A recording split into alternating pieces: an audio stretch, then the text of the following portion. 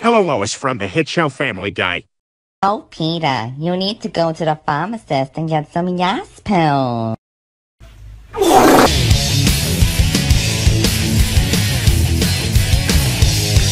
I think they are buried somewhere around here.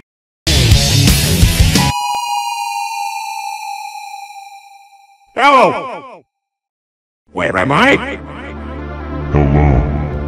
We are the Yes Pills. Oh, cool! Hey, Lois from the hit show Family Guy. You won't believe what I just found. Oh my god. Thank you, Peter. Watch out.